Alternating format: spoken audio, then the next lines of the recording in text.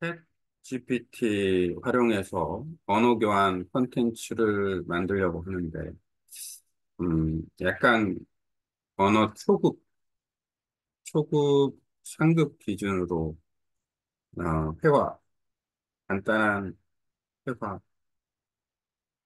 어, 컨버세이션을 한번, 회화 콘텐츠를 한번, 어, 만들어 보겠습니다. 챗 GPT는, 아, 좋은 콘텐츠를 만들 수 있는 유용한 도구이고, 비기너부터 시작해서 어, 인터미디에이트, 그 다음에 초보, 중급, 어드밴스, 고급 수준까지 아, 적절하게 아, 콘텐츠를 아, 만들 수 있는 장점이 있습니다.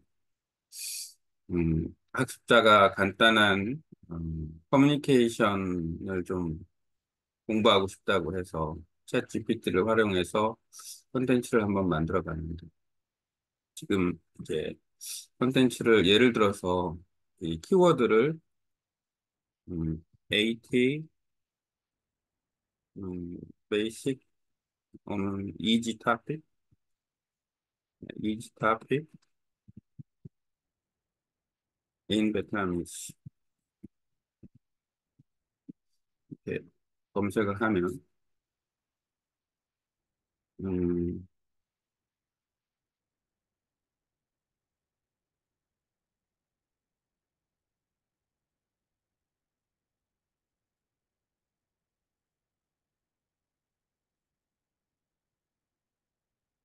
음, 이렇게 콘텐츠를 보여줬는데 앞부분에 검색을 했을 때 지금은 얘가 좀 짧게 그 얘기를 해줬는데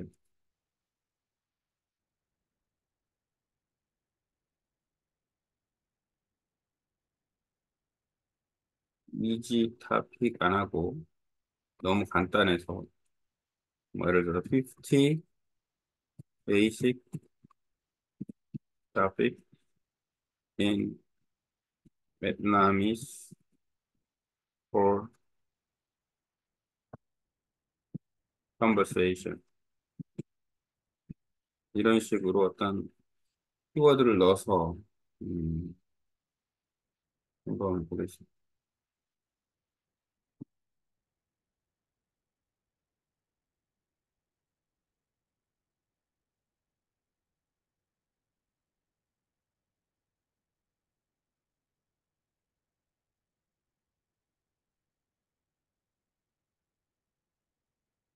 음, 그러면 이 중에서 하나만 골라서 어, easy conversation 쉬운 어, with 여기에 있는 공각 스타일 가지고 한번 만들어 보라고 쉬운 대화를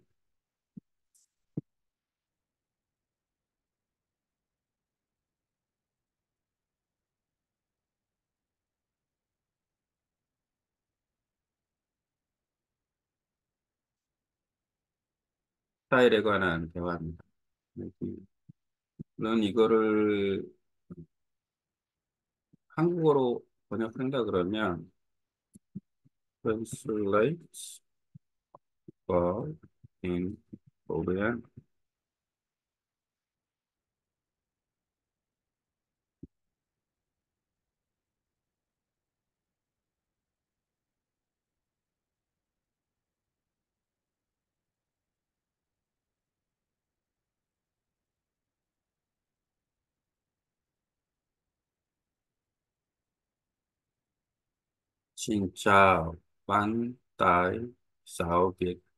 기 공각 또장 옛날 어떤 스타일 좋아하세요? 자만 운이 랑 공각 hiện nhật 다양 아, và phong phú 스타일이 아주 많아요. 그런 거 맞아요. 고메뉴 모녀의 유두 고모 liên quan đến 자기만의 스타일이 있는 것 같아요. 망, 네, mỗi nhối có thể yếu tố ờ, 저, 어, hiện 단, 단 관봉 các quả mình 아, 이런 식으로 지금 음,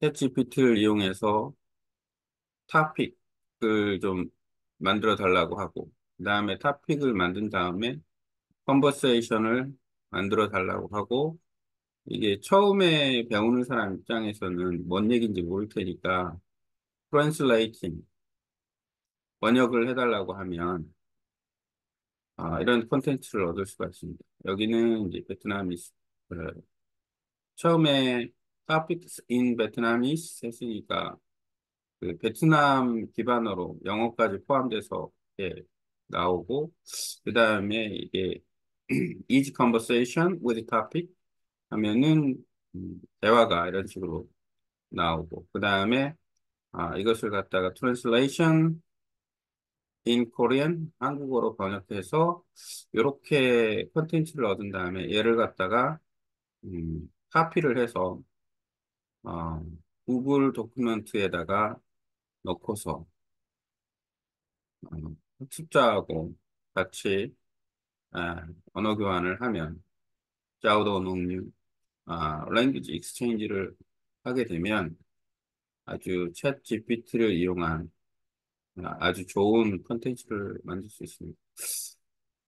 아, 내가 언어 교환을 해봐야 되겠다라고 생각한 이유는 그냥 이거 면피 공짜로 챗 GPT 3.5가 지금 아, 가동되고 있는데 얘를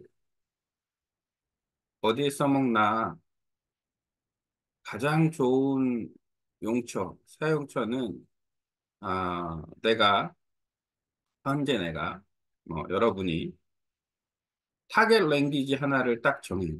그럼 나는 베트남어를 베트남에서 한 달 살기 프로그램을 좀 할 거니까 아 그럼 베트남어를 해야 되겠다. 그리고 나서 그 target language를 이용한 language exchange를 하는데 이게 language exchange를 한다, 언어 교환을 한다 그러면은 요즘처럼 온라인이 잘 돼 있고 online based고 컨텐츠도 챗 GPT를 이용해서 충분히 구할 수 있고 그리고 이제 한 가지 그 언어 교환을 하기 위해서는 예를 들어서 내가 원하는 target language인 베트남어와 그 다음에 내가 가르칠 수 있는 뭐 Korean 뭐 내가 영어를 잘하면 Vietnamese and English로 해도 되겠지만 그냥 보편적으로는 Korean 그러면은 아 나이 내 입장에서는 베트남어를 배우는 거고 한국어를 배우는 베트남 사람들이 얼마나 많냐 얼마나 많냐가 중요한 포인트 중에 하나입니다. 근데 지금 현재로서는 그 베트남에 있는 베트남 사람들이 한국에 있거나 베트남에 있거나 한국어를 배우려고 하는 사람이 많아요. 그래서 language exchange를 하기는 아주 좋습니다. 여기서 중요한 거는 뭐냐면 어떻게 해서 어떻게 그 오픈된 곳에서 광장처럼 오픈된 곳에서 아, 이 학습자들과 커뮤니케이션을 할 수 있고 실제로 같이 공부를 했을 때 과연 나는 내가 원하는 만큼의 베트남어를 할 수 있느냐 이게 첫 번째. 두 번째는 나와 공부하는 사람이 한국어를 또 얼만큼 잘할 수 있느냐 두 번째. 이거 언어 교환해서 이런 컨텐츠를 이용해서 언어 교환했을 때 과연 이게 실력 향상이 될 수 있느냐 이런 부분. 네, 그러면은 아, 언어 교환을 한 사람만 해서는 좀 안 되고 적어도 한 세 명 이상 정도는 하는 게 바람직하다라고 생각이 듭니다.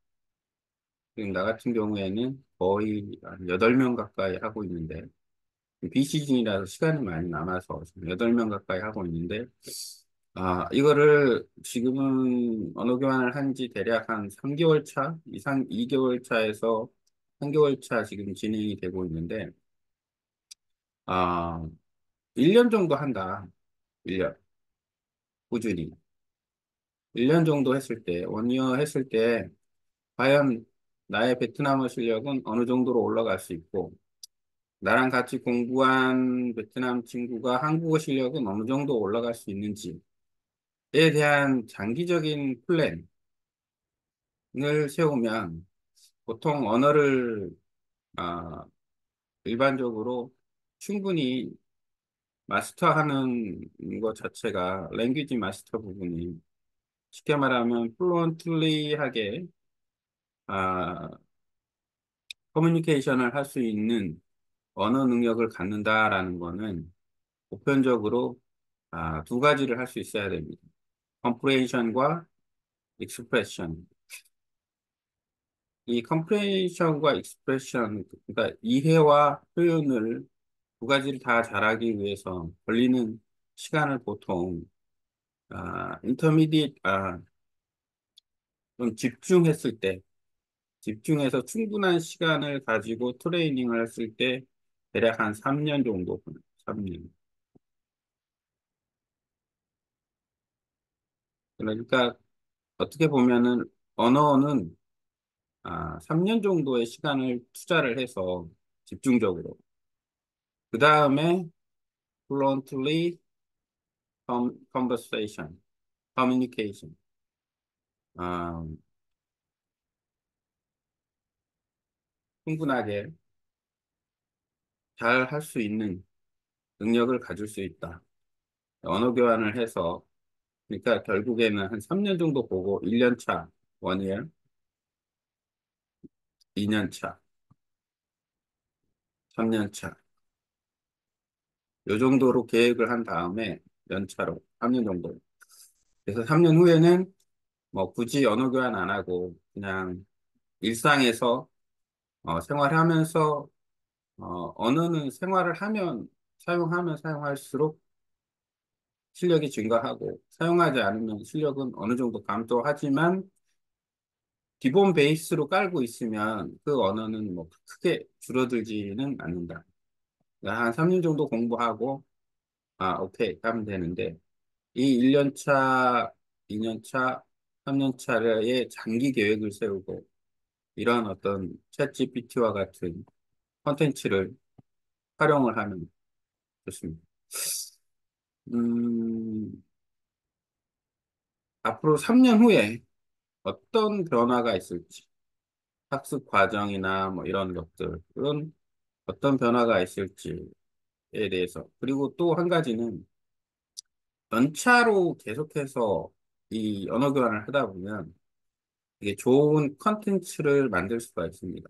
근데 지금 아직까지는 챗 GPT로 생성된 컨텐츠가 저작권 이슈가 있긴 하지만 이게 저작권이 적용이 아직은 안 되는 형태로 가기 때문에 이걸 활용해 가지고 아 활용해서 충분히 아, 이 언어 교환 자체를 아, 상당히 전문적으로 아주 훌륭한 음, 에듀케이셔널한 교육적인 어떤 컨텐츠로 만든다라는 것은 아주 아주 그 유리하지 않은가. 그래서 한번 도전해 볼 만한 영역이 언어 교환 같습니다.